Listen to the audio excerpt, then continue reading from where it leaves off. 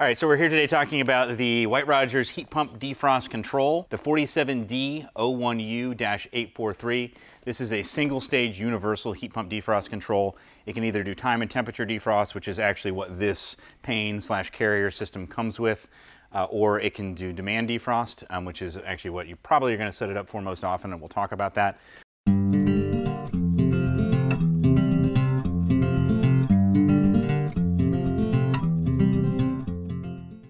One really nice thing about this defrost board is it comes with some additional features that you're not going to have in a lot of the factory OEM boards. One of them is the outdoor temperature lockout thermostat that's built right into it. It uses the outdoor temperature thermistor, and so it actually can measure the outdoor temperature, and you can use that to lock it out. Um, like is required by code in a lot of places. It also has a really nice LED display on it so that you can actually see what's going on and set it up more easily as well as fault codes. Uh, and it comes with both of the sensors. So if you are in an application where you know maybe you want to replace the board, but you also see that maybe the sensor wires are damaged, um, you can go ahead and replace those sensors as well. Um, it comes with two standard 10K sensors, one for your outdoor air and one for your coil temperature. It has built-in time delay. It has built-in brownout protection, which is really great. If your voltage drops below safe levels for the compressor to operate, it can also lock out the equipment. It has error code recall, so you can see what the recent error codes have been.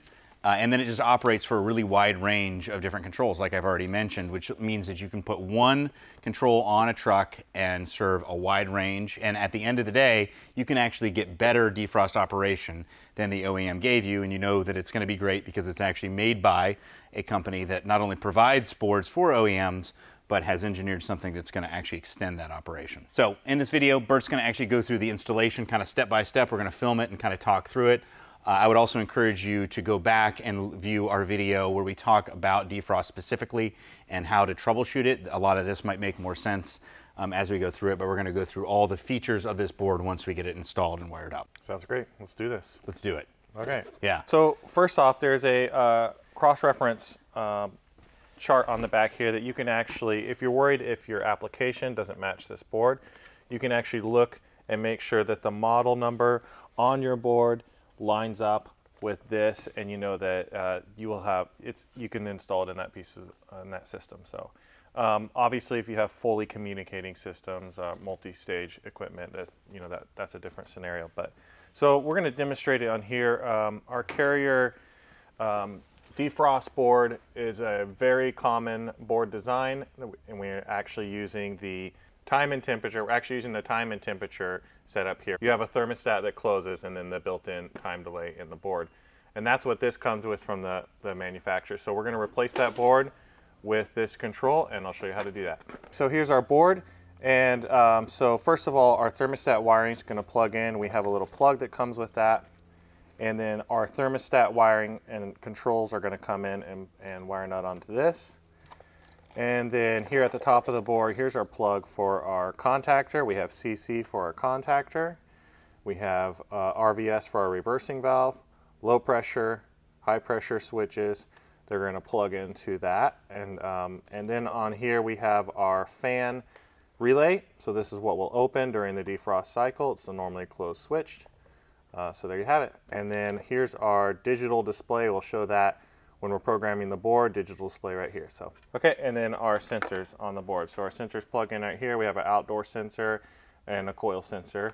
It plugs in down here on the bottom, and then easy to mount screws. You actually comes with self-tapping screws that you can just put this board any orientation, orientation that you need um, to make it fit. First all we, off, we need to make sure that our power is turned off to our system. Don't be the person that just turns off your high voltage out here. All of your control wire is also in the indoor, so both breakers need to be turned off. I would recommend at this point taking a picture of the layout that you have so that you can remember where things were plugged in and what they were labeled. Um, that also outlines that in the instructions. I'm going to go ahead and unplug uh, this sensor right here that I'm unplugging is actually going to be obsolete. So this is your thermostat switch that opens and closes. With the new board, you have your outdoor sensor, you have your coil sensor that is actually going to be replace this function altogether. So you're no longer using that thermostat open close switch. Uh, you're using the temperature sensors that actually come with the new board. Yeah, in this case, we're just going to leave it in place because this is a training unit, so we're not going to completely disable it. But um, but you, in real life, you would normally just pull that whole thing out and eliminate it.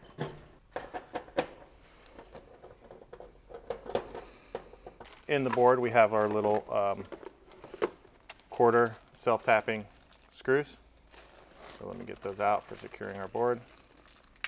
It comes with some wire nuts and also some zip ties for uh, keeping our wires cleaned up tucked out of the way. Change the board orientation for whatever will be easiest for hooking your wires to it, whatever makes it close, uh, closest to where everything hooks up. The digital display later in the programming, you can actually switch the orientation. So if your board's like this, then we'll still be able to read our codes accurately. We'll just switch the digital orientation. Um, but this setup right here will work great. Secure the board.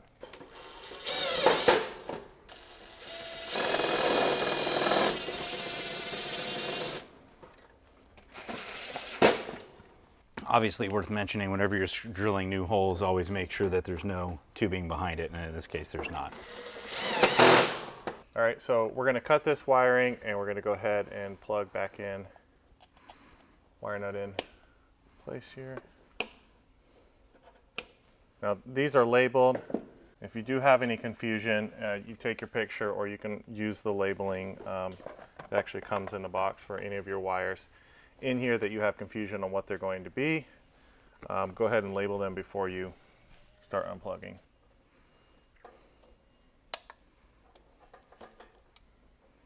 Okay, so top on this list here we have Y.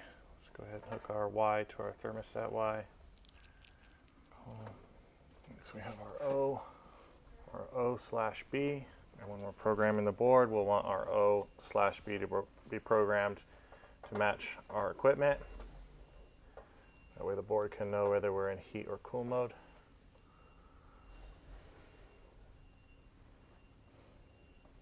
Okay, so I left the auxiliary to hook up last, uh, just to talk, talk about the possible feature and why we have an extra wire here. Uh, so this board has a function built into it that if you want to um, not allow the thermostat to call auxiliary heat, um, if the outdoor temperature is above a certain point, so let's say our outdoor temperature was above 50 degrees and we just didn't want backup heat running in that scenario, you can break it uh, through this defrost board right here. So you would have, um, if you have an extra wire available, you would have your thermostat that's powering auxiliary coming in on the brown one here, which is WIN. And then if the board is allowing that call back out, then it'll come out to our actual equipment on white, which then goes to our auxiliary relay. If you're not going to use that feature, then the one that you, you want to use is the uh, WDX2 terminal, the white one. So a lot of thermostats have that built in now, like that, that feature built in. They'll not actually bring on auxiliary, or, you can use the board if your thermostat doesn't have that function. It's just a power saving function. All right, our low voltage is hooked up. Now let's actually hook up our safeties and um, the contactor and reversing valve to our defrost board. So this is the other plug that they provided, and I'm going to use wire nuts on these connections as well. So this plug on our old board, we had our contactor being energized here, so we have T1 and C. And if you look at the uh, installation manual, beautiful wire diagram showing where uh, each of these wires and safeties go and where to hook them up to on the board. You can also just follow the wires back and see what they're hooked up to. We have common on our side of the contactor and yellow on the other side. Right now I have my reversing valve, so I'm hooking it onto the board at RVS, reversing valve terminal. So that will supply common to one side of that reversing valve and 24 volts to the other when it's in cool mode. Next I have the two wires that are going to our contactor. So this will be what actually pulls in our contactor. And so that's going to connect up here to CC. So I have to strip that back apparently.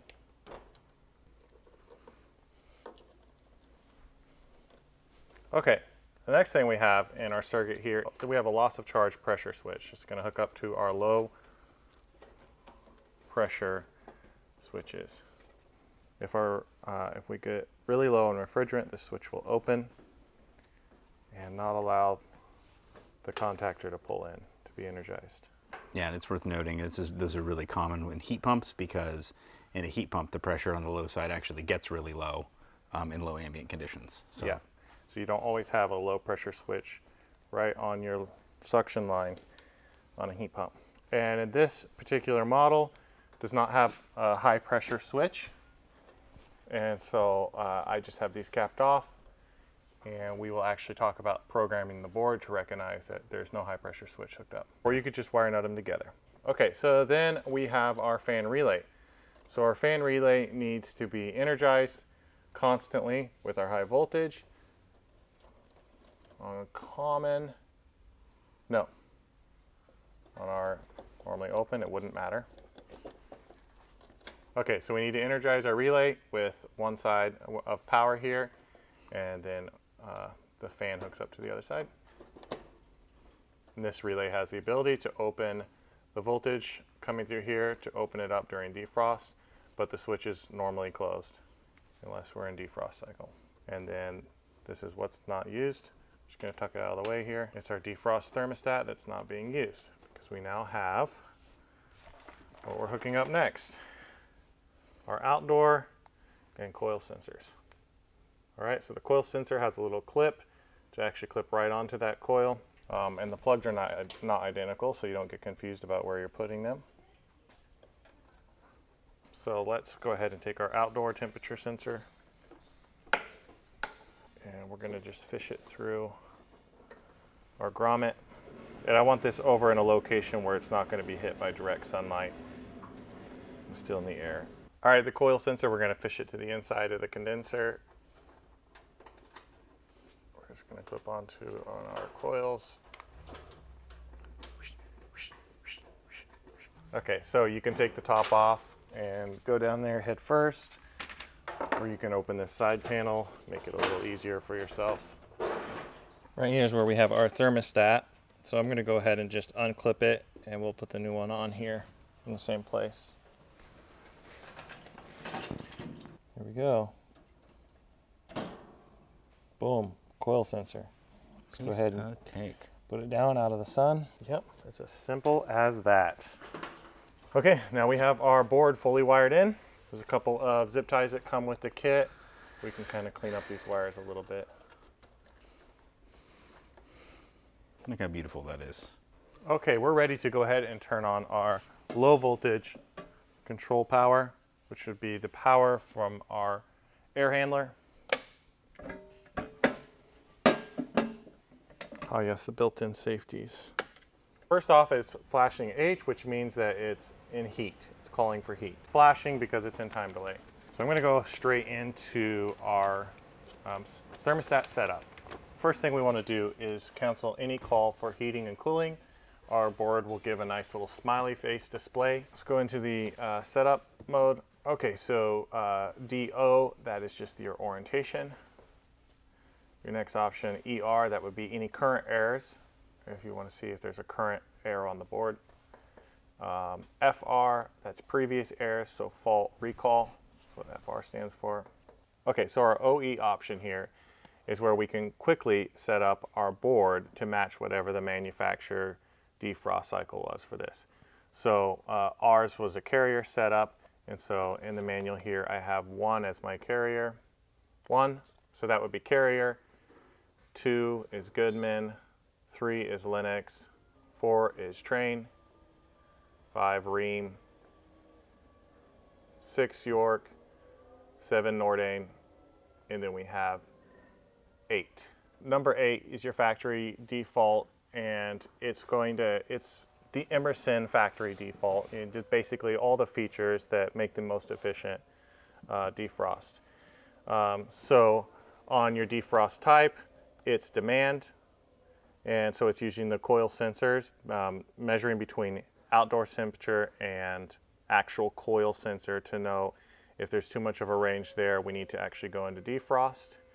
The defrost cycle time, uh, we don't actually have need a defrost cycle time on this one because it is demand. Your short cycle time delay, you have five minute short cycle time delay built in there. If something um, happens to power, we're not going to be chattering our contactor and damaging our compressor. Uh, reversing valve power, we have O. So the factory default is O, um, that's energized and cooling.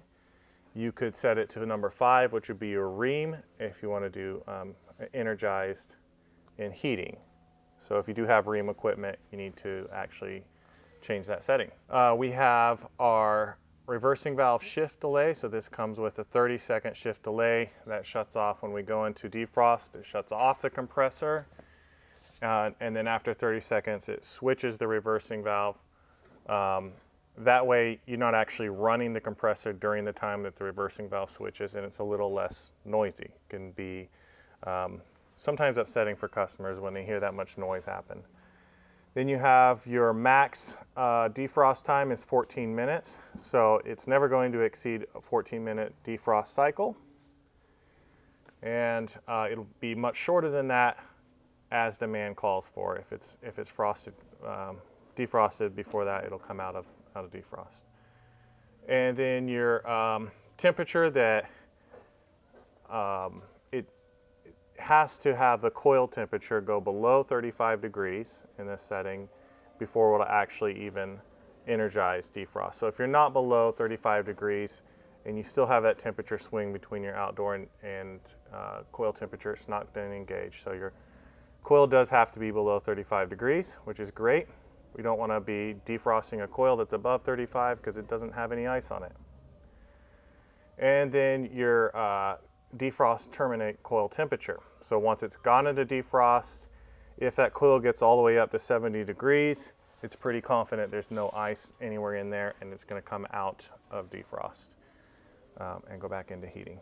So that's your factory default and that really covers all the basis of your other manufacturers. As you can see, a lot of these are overlapping with the manufacturers like Lennox and Trane and Rheem that have on-demand um, there's a couple features that are different, obviously, with your um, defrost time uh, setup, like this one was, the carrier. Um, but these features just add a more efficient uh, defrost cycle to the system. So that the feature changes help improve the efficiency of the system um, when you can when you actually can do on-demand defrost. So we're just going to talk about each of the op options in our um, setup menu. So we've talked about ER is the air, FR is the recall, and then OE would be our quick setup.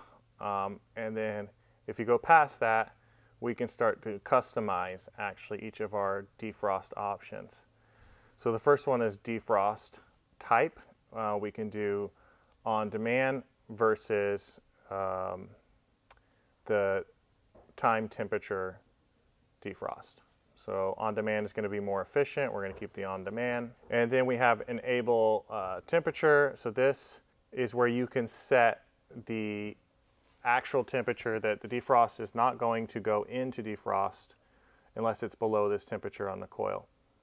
So um, we talked about already the factory default was 35 degrees. You could change that um, in right here if you wanted to. And then TT, temp, uh, termination temperature. So this is uh, the temperature that the coil needs to get to after it's been in defrost in order to shut off. The default was 70. Uh, you can have it terminate differently if you wanted to customize the options here. And then we have our SS. This is our short cycle time. Um, so you can change that from five minutes, zero, three minutes. Those are your options.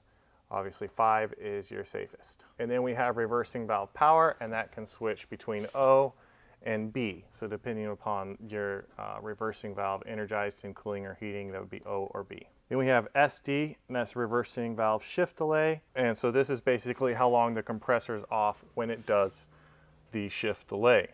Uh, during shift delay, it doesn't actually keep its five minute anti-short cycle. So it overrides the five minute anti-short cycle so however long you set the shift delay uh, for, which we have 30 seconds, um, 12 seconds, or zero seconds on your shift delay.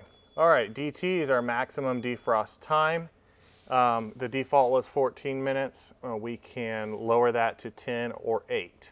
So in a climate like we have, uh, we could bring that even to lower than 14. But of course, on demand, once that coil gets a certain temperature, it's going to come out of defrost anyway. So HL is our auxiliary heat lockout. So that's where we have that extra wire here that I have the wire nut on. WIN, WD, you could run auxiliary from the thermostat through that and lock it out. That would be where to enable that feature. Then we have our LT, uh, low temperature compressor cutout. And this would be outdoor temperature where we don't allow our system to run if it's below um, a certain temperature. So we have minus 10 all the way to, um, it looks like minus 25 here. Okay, our RT is our random start delay so that if you had multiple systems with this same brownout protection, you could change the, the startup time after a brownout so you don't have all of your equipment starting at once in a, a big power surge. Our low pressure switch on off, we do have a low pressure switch, so we want that on. We actually don't have a high pressure switch, so I'm gonna switch that to off here. And then our brownout protection on off. So you have the option of actually turning off your brownout protection. That's just a quick overview of our custom options. They have descriptions in the manual about what each of these do and how to use them. Our defrost board is ready for action in the field. Um, it also has um, error codes that can pop up um, and display on here, and you can see the installation instructions for what those are.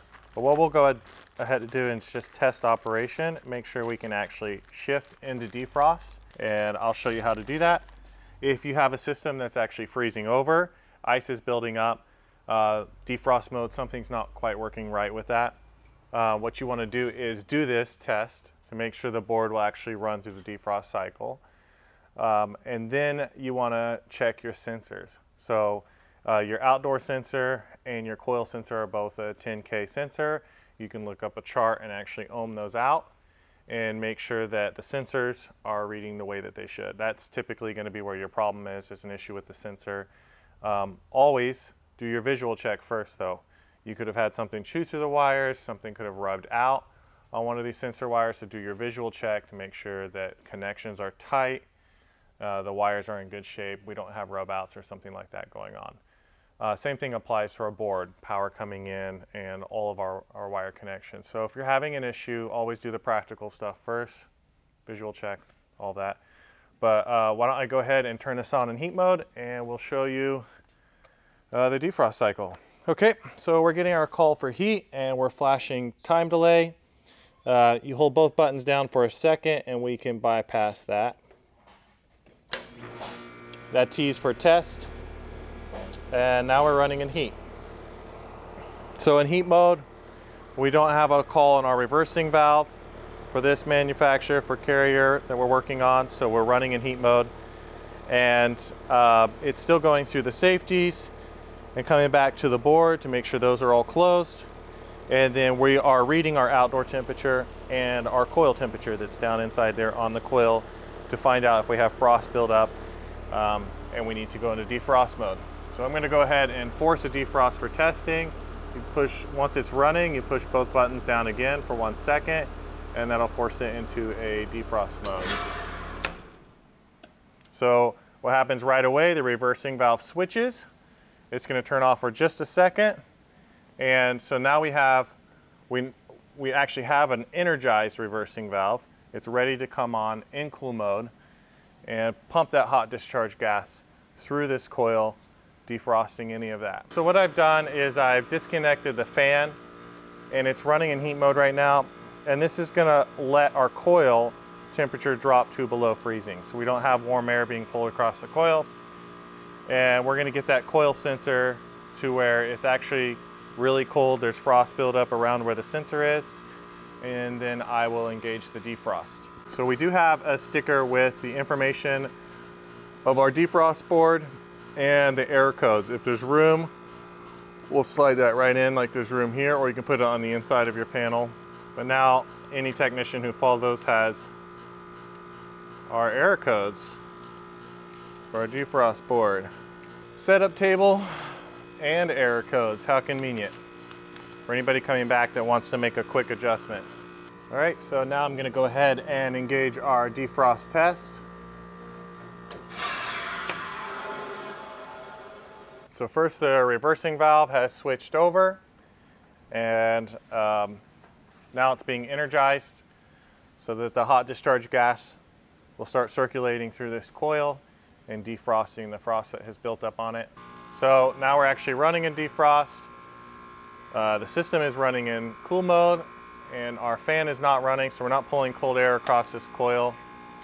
We have a hot discharge gas circulating through these coils and once that sensor reaches a temperature where it's heated up enough, it knows there's no more ice on there, it will come out of our defrost mode.